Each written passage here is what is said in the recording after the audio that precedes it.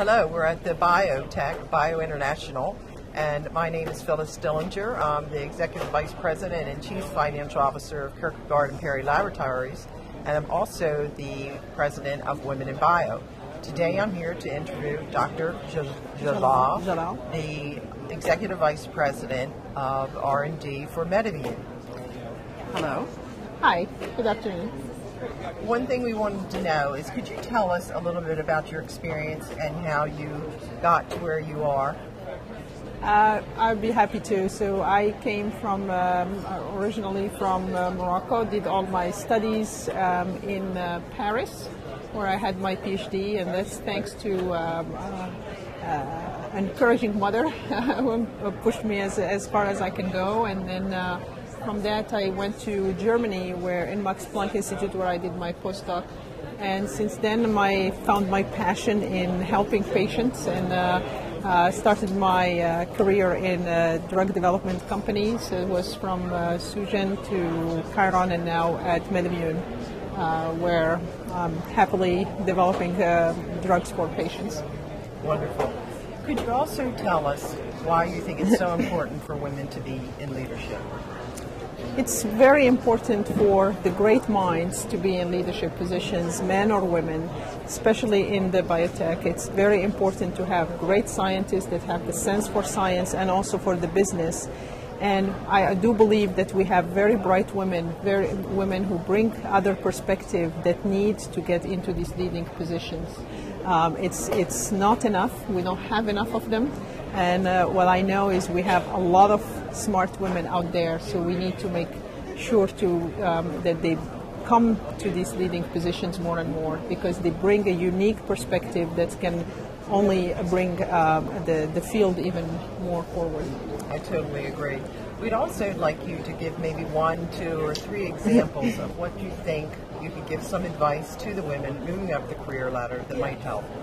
Um, several advice, and that starts really uh, at the at the early age, is encouraging uh, girls already to that science and math are for you know uh, girls as much as as. But once we get into this um, um, into the, the, the career, is first is to have um, is to follow the passion, stay true to yourself, but also really find that sponsor within within a company. It's very important. Um, have um, you know with with and it's okay to, to be ambitious and to do to do both. I think we have uh, women are extremely well at uh, uh, multitasking, and we can do both of them. Have a, support network. It's a, it's very important, and it's very important to, to find that sponsor as well. If you look at the careers uh, for women in the life science, what would you think are some unique career paths that women could take in the biotech industry? I think the sky is a limit, really. Um, I don't think uh, this. Uh, another advice I, I would say: um, there are not just careers that are more towards women or men. I think women are capable of doing any career. You know, they have as much uh, uh, uh, as many possibilities or, or right to be in the boardroom as any other man, and they can do it. I think it's not to limit uh, themselves very early.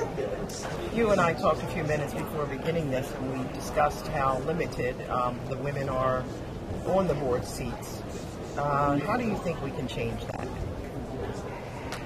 You can't get what you can what you don't ask for. I think we need definitely there is um, I think either on the board seats or on the boardroom, there is still definitely a glass ceiling. Uh, shattered a little bit, but not enough. Um, I think we need to, uh, you know, as women who are on the boards, to encourage these boards to have more women, to sponsor women themselves. Uh, but I think we have we have still to, to fight a little bit more and to go seek those positions. You know, it starts with us going. You never get what you don't ask for as well, and to fight for that. That's wonderful. Thank you so much for your valuable time. We are at the BioBuzz Center, and you can follow us on I Am Biotech. Thank you.